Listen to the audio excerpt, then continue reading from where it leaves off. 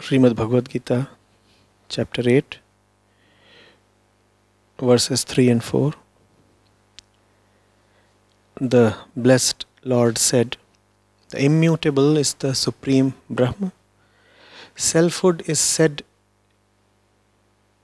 to be entirely present in the individual plane.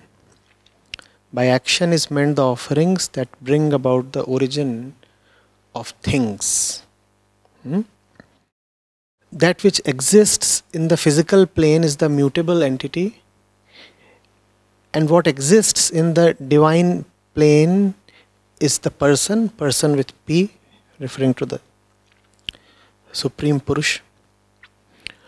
O best among the embodied beings, I myself am the entity that exists in the sacrifice in this body.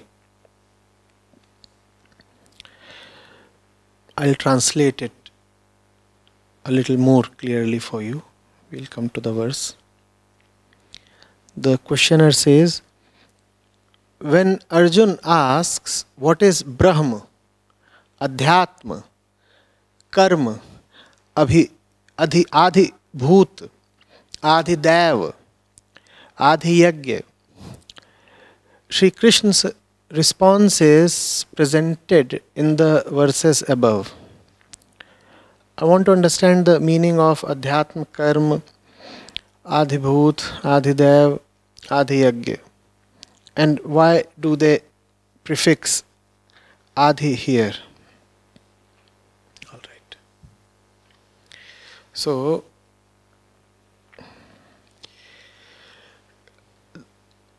to complete these two, we must also go to the two verses that precede these. I'll read them out for you. Arjun said, this is the opening verse of the chapter, chapter 8, verse 1. Arjun said, Krishna, what is Brahma? What is Adhyatma? And what is Karma? What is Adhibhut? And what is Adhidev? Second verse Krishna, who is Adhiyagya? And how does he dwell in the body? And how are you to be realized at the time of death by those of steadfast mind? Then comes the reply of Krishna in the next two verses. Sri Bhagavan said, The supreme indestructible is Brahma. The supreme indestructible is Brahma. One's own self, hmm? by self here is meant the individual self, not the supreme self. One's own self is called Adhyatma. And the primal resolve of God, Visarg, which brings forth the existence of things, is called Karma. Hmm? We'll take these three first. What is Brahm? Brahm cannot be known by affirmation or positive instruction. All that we know of has characteristics. And we know a thing by its characteristics or properties. That's the defining thing about a thing its characteristics. Remove the characteristics, and it will be very difficult to talk of the thing at all, right? Is there a thing without its characteristics? No? Hmm? So that's the world we inhabit. Hmm? A world of properties, a world that can be named, pointed at, described as a story, pictured, projected. That's what this world is, right? Unfortunately for us, this world does not take our inner well being too far. We exist in the world all right, but we never quite find absolute peace in the world. And the world means the one that has characteristics, the one that comes and goes, the one that is within the scope of time. Hmm? Is there world without things? And everything arises at a certain point and disappears at another point. That's the world, right? So there comes a point of time when the thing with all its names, properties, etc., suddenly comes into being. Not even suddenly. There is a cause effect chain. So there always are causes behind everything. Even if the thing seems to appear at once abruptly. Right? And then there comes another point in time when the thing disappears. Brahma is for the ones who no more assign great value to these things because they are experienced enough, probably intelligent enough to have tested these things, penetrated these things, and discovered that they can only do so much good and nothing beyond that. Things are useful in our day to day business. We require this mic, right? We require clothes. The body is there, the body is in itself a thing. How can we say things are all useless? Correct? We need food, we need water, all things right? Even thoughts are subtle things. Hmm? So things have their utility. Maybe things have great utility. Maybe things take you as far as the 99th milestone. But if the 100th is the destination, things somehow fail in reaching there. That's when adhyatma kicks in. That's when you realize that you need to have something beyond things. For things, the world cannot be totally relied upon. And somehow the mind seeks perfect security. The mind doesn't come to rest unless until it is assured of total security. Therefore,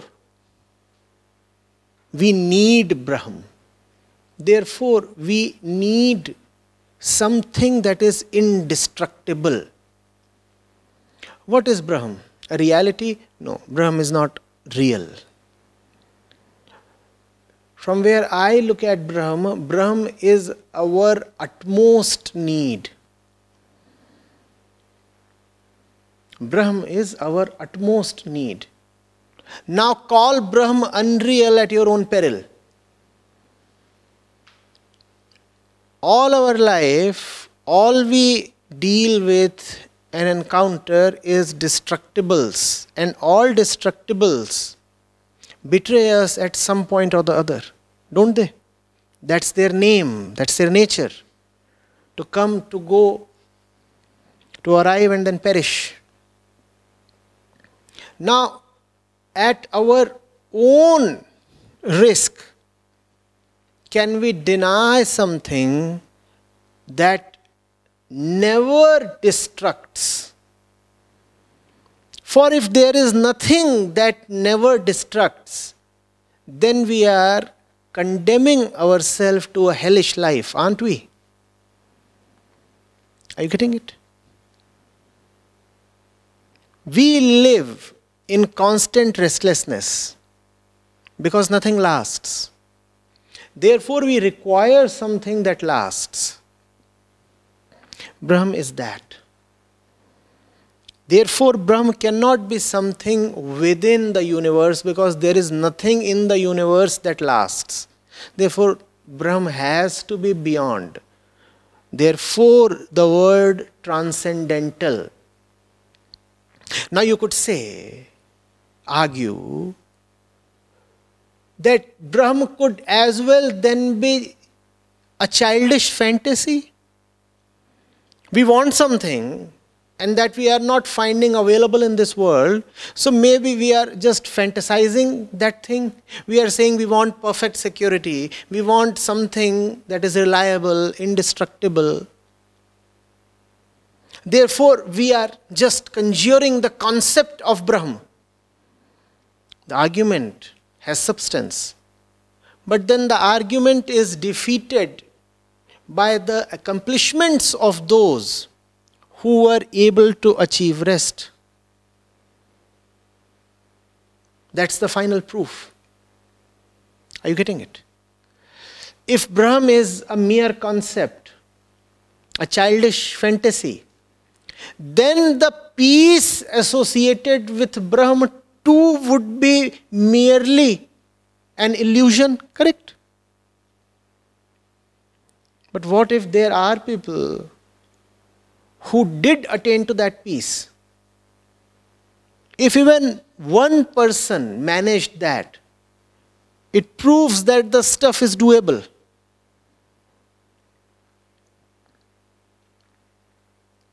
All right, but is there proof that even one person reach there? Well, the proof here lies in the comprehension of the one who seeks the proof.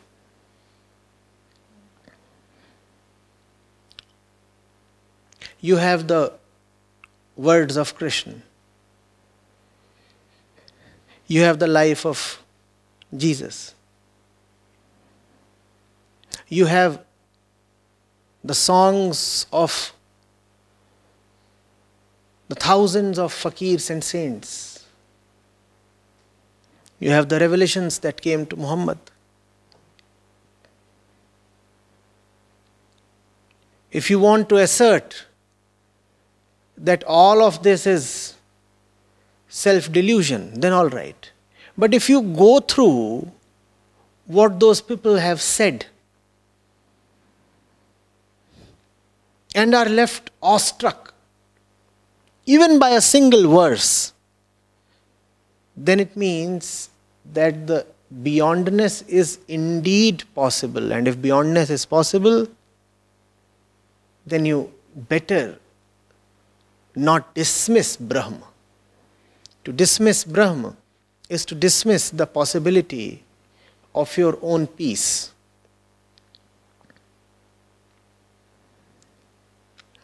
Are you getting it? There is no other proof.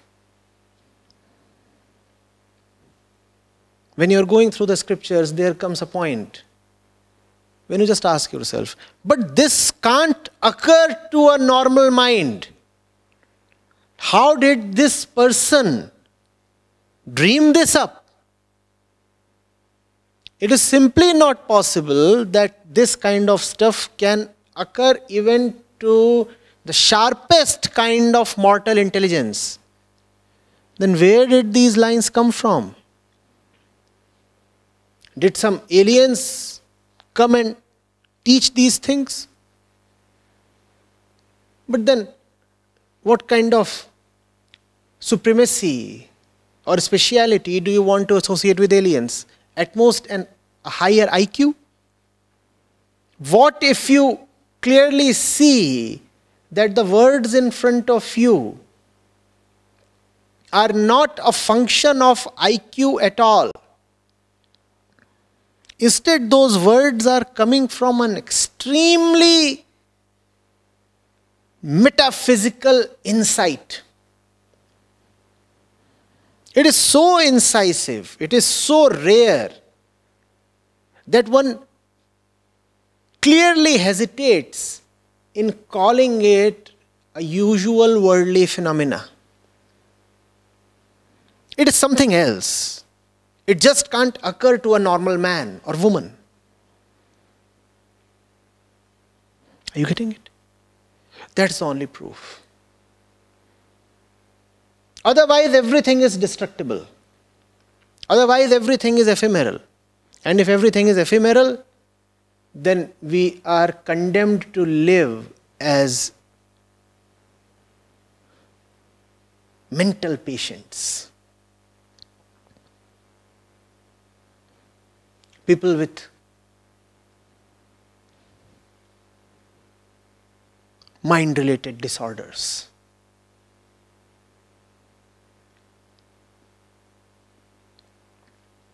Are you getting it? Hmm? Then, adhyatma. Going into one's own mind is adhyatma. Going into one's own mind is adhyatma. inquiring into the nature of one's self is adhyatma. Remember, I said one's self, not the self. And one's self means the personal self, the mind.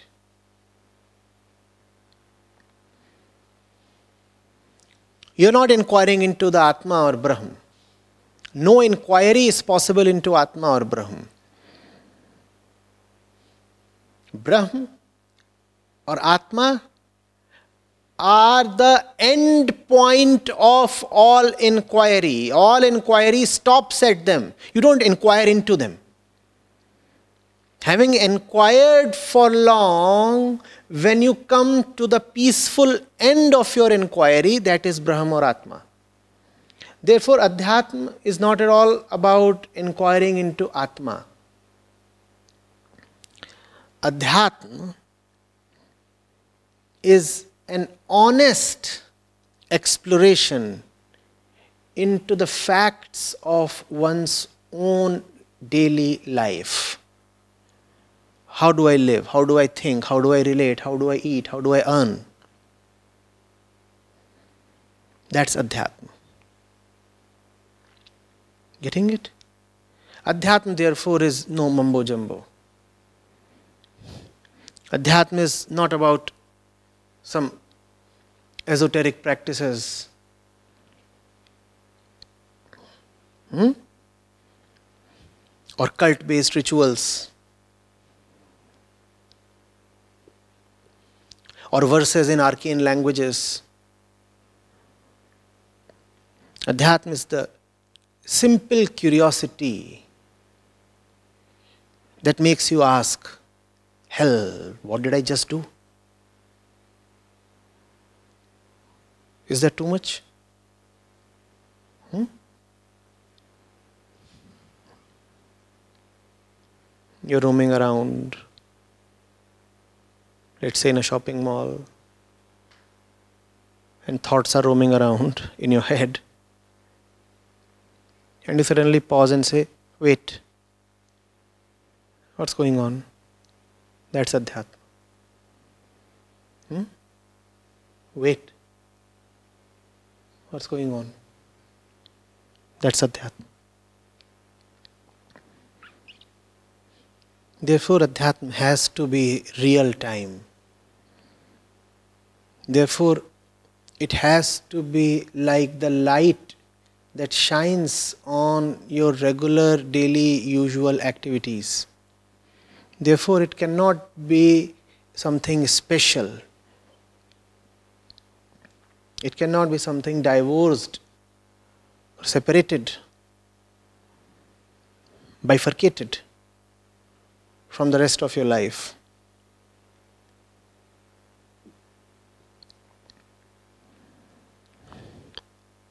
There's nothing greatly complicated about the phrase know thyself. Know thyself is adhyatma. And know thyself does not mean that you have to earn a doctorate in the complicated business of self knowledge. Who are you? The one that you right now are. The one who is listening attentively, the one who is scratching his back, the one who feels intermittently interested in the neighbor rather than the lecturer.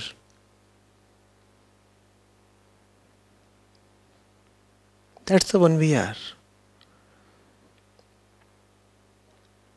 Figuring this out and acknowledging this is Adhyatma. Hmm? What does Adhyatma have to do with Brahman? In the realm of Adhyatma, we keep hearing of Brahm so frequently, don't we? We just talked of Brahm, now we talked of Adhyatma. How are the two related? How are the two related? Brahm, we said, is the end point of all inquiry, and Adhyatma is the inquiry itself. Do you see this? If you are really Adhyatmic, Brahm is what you will get. I'm using the word loosely, you know, you don't really get Brahm. But just to make the point clear, Brahm is the end point of all inquiry poetically said that's the end point at which even the inquirer vanishes because the inquiry is resolved. Now, what will the inquirer do? When the disease is cured, does the patient exist at all? No. If the disease is gone, would you still be called a patient? So you're gone, right? That's Brahm. You're gone. The process that makes you go away is called Adhyatma. Is that clear? All right. Then karma. By karma is meant the offerings hmm, that bring about the existence of things. Hmm?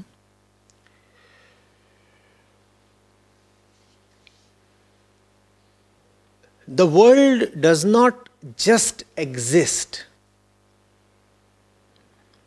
it exists to somebody. Hmm? Therefore, when Arjun asks, What is karma? Sri Krishna will not give him a merely theoretical reply. What he is telling Arjun is what is the right karma for you? What is the right karma for you?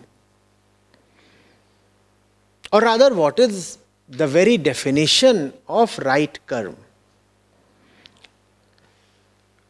Except for that, all other action is bad action. When somebody asks you, What is action? And if you are a well wisher to that person, you would want to tell him the highest possible definition of action, right? That's what Sri Krishna is doing here. Krishna is saying that which you do in order come to the right state of universe is karma. Sacrificing that which is not needed by you, sacrificing that which keeps you in illusion, that alone is karma. All else can be called as vikarma or distorted karma. Getting it? We all act, right? All our life, we have to compulsorily act. Sri Krishna is telling Arjun how to act. Act in the manner of sacrifice. That's a gold standard. Act in the manner of giving up, not in the manner of taking in, absorbing, or accumulating. Every action of yours has to be an action that reduces you, that makes you give up some part of the inessential self that we carry. That alone is karma. Getting it? But that's not the kind of action we find ourselves or others engaging in usually. Then those actions do not deserve to be called as karma either. When Sri Krishna says karma, by default it means nishkam karma, right karma. Remember who is using the word. The word is colored by the one who is uttering it. Hmm? So act in a way that reduces you. Now tell me how are adhyatma and karma related?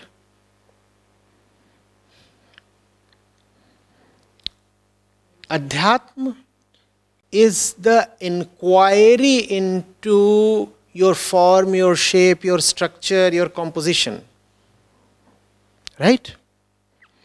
And karma is the positive intent, the change that you bring about to give up all that is seen as useless in the process of self inquiry. You looked into yourself and you found a lot of stuff that is needlessly present. Then, right action is to get rid of those things. And it's not quite easy. It may take some effort, some doing to tear those things away from your inner personality. Those things have been a part of you since long. It's not easy to drop them, they have to be torn apart. That is action. Just as action for Arjun in the battlefield is fighting his relatives, not easy at all. Getting it? Sri Krishna tells him very clearly it's not about killing somebody outside of you. You have to fight your own inner weakness as far as those people are concerned who you see present in front of you, they are already dead. They are already gone. So it's not about killing Duryodhana or Dushasan. It's about fighting your own attachment that is making you subvert dharma itself. You very well know, Arjun, that the right thing to do at this moment is to put the right man on the throne of Hastinapur. You very well know who that right man is you very well know whether Yudhishthir is a worse candidate compared to Duryodhan. You know which of these two should occupy the throne, and you also know the repercussions of the wrong man occupying the throne. We are talking of monarchy, not democracy. In monarchy, the personality of the monarch decides the fate of an entire population. You know, Arjun, who should be the monarch. But see, your inner entanglements are not allowing you to fight. Therefore, karma for you is to fight. Do you see what karma means? Something that makes you get rid of your inner weaknesses. Whenever you are acting, and you always are, keep asking this question that which I am doing right now, is it liberating me of my weaknesses or is it consolidating, even decorating my weaknesses? Getting it? Then, it's a long question. In itself, it contains the gist of the entire session.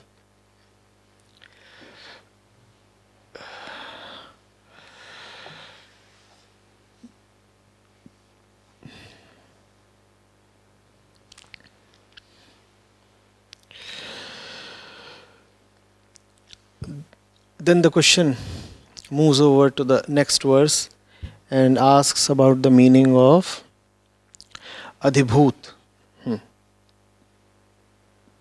What is adhibhut? Bhut refers to the primal elements. Bhut refers to the primal elements.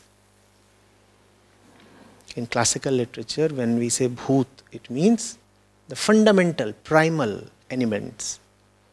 So, what is Adhibhut then? All that you see around yourself, this is Adhibhut. All that you see around yourself is Adhibhut.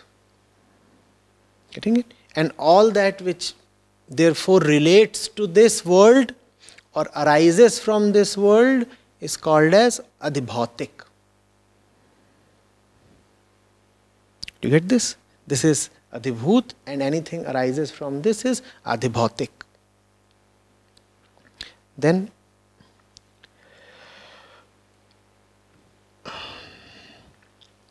Adhidev. What is Adhidev? And Sri Krishna says the shining Purush is Adhidev. Hmm?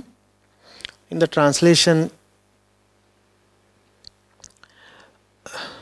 it is mentioned that the shining Purush, the Adhidev, is Brahm. I beg to differ with the translation. No, Adhidev does not refer to Brahma. Adhidev refers to Ishwara. There is a great difference between these two. Hmm? For example, when troubles come to you, scriptures will want to differentiate between adhibhautik and adhidevik troubles. Hmm?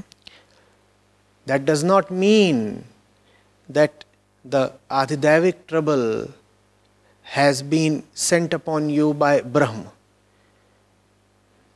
If Adhidev is Brahma, then Adhidevik stuff is operated by Brahma, but Brahma is a non operator, non doer. Brahma does not do anything. Adhidev is not Brahma. Adhidev is consciousness itself. Hmm? Consciousness itself. So, by Adhibhut, you refer to all that which is unconscious. Right? And by Adhidev, you refer to consciousness itself. Right? The one that watches everything that is unconscious. Jad and Chetan. Jad is Adhibhut and Chetan is Adhidev. Then,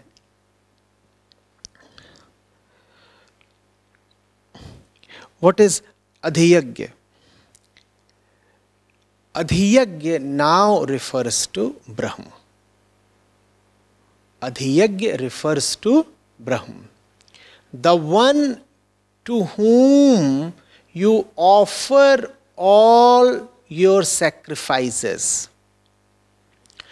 The one immeasurable ocean into which all currents of your offerings and your actions vanish. That is Adhiyagya. That is Brahm. Krishna does not mention Brahm here. Instead, he says, I am Adhiyagya. But then, who else is the Krishna of Bhagavad Gita except Brahm?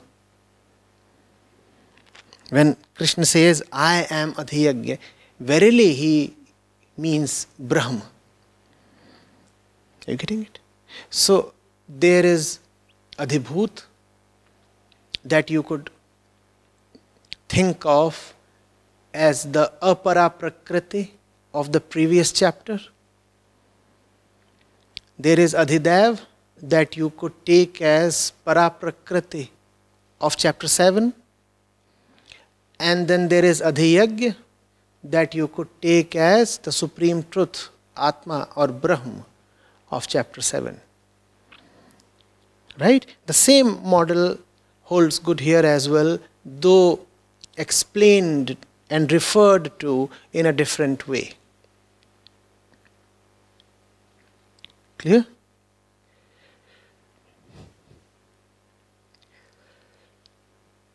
Are all these terms clear?